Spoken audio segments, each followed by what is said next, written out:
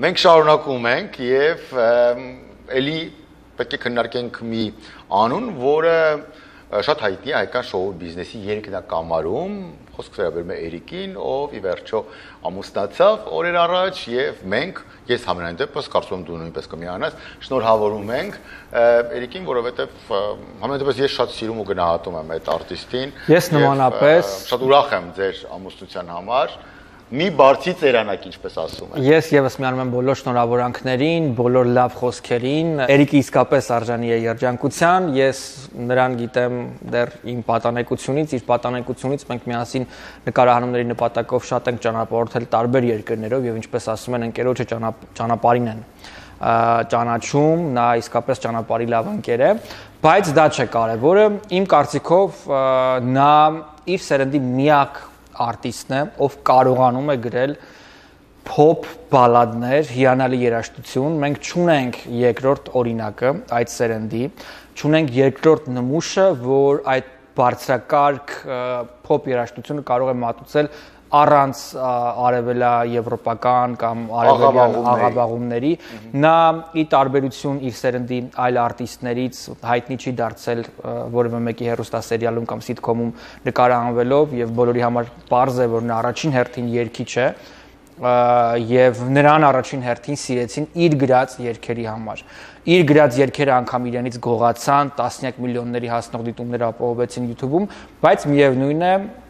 նա մնաց անաղարտ երաժշտության կրող եւ ես իրեն կարող եմ համեմատել երջանկահիշատակ Հայկոյի հետ միայն, ով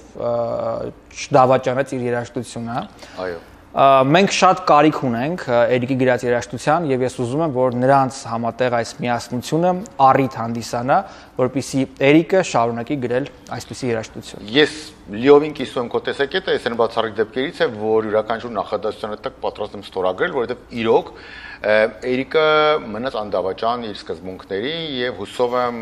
որևէ սանտիմետր աճ կամ ձախ շեղում չի լինի ապագայում հենց դրա համար սիրում ենք քեզ Էրիկ հենց դրա համար մենք էլ սիրում ենք քեզ եւ վերադառնալու նախորդ թեմայի այդ հարցազրույցների պահին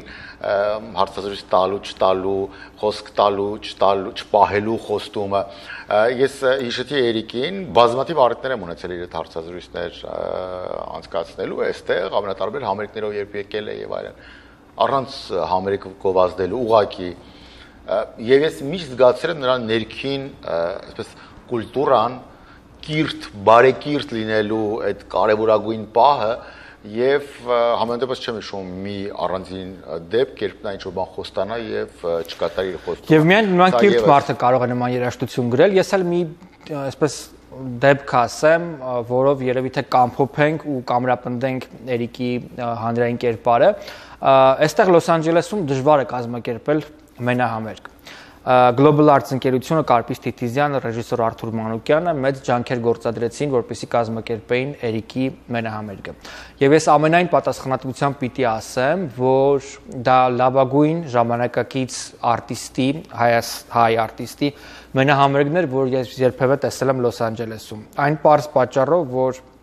արտիստեր բեմում եւ հնչող երգերը գալիս էին հոգուց։ Դա միակ համերգն էր, որը առանց LED էկրանների էր, իմ տեսած այստեղ Լոս Անջելեսում, առանց ինչ որ մասշտաբային ապարողների, այլ պարզապես շատ գեղեցիկ ու էսթետիկ կերպով Արթուր Մանուկյանը կարողացել էր ստանալ այդ staging-ը, բեմը,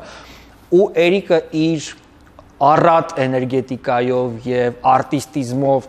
այնպես լրացրեց այդ LED էկրանների եւ բոլոր բացերը, որ այդպես կարող անել միայն մեծ արտիստը։ Ես չի որ պետք է գնահատական տամ նրա գործունեությանը, նա բազմաթիվ առիթները, պատճառներ է ունեցել մեզ բոլորիս հպարտացնելու եւ բարձրացնելու ազգային մեր դրոշը եւ հիմներքը տարբեր երկի մրցույթներում, Սլավյանսկի բազարներից միջև նոր ալիքներում,